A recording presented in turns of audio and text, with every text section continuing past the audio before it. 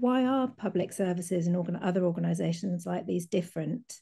And why do they need to measure and demonstrate impact in different ways? Why don't these top-down approaches work?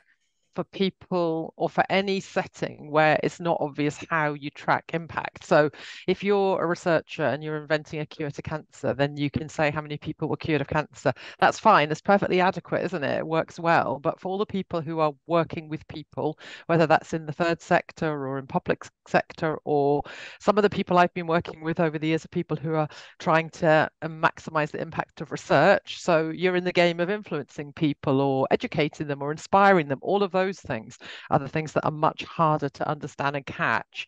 And that's partly because um, the kind of line between what you do and impact is much longer, and also because external factors um, play a massive part. So, you know, you might be delivering something really beautifully, but some external factor could completely cut across that.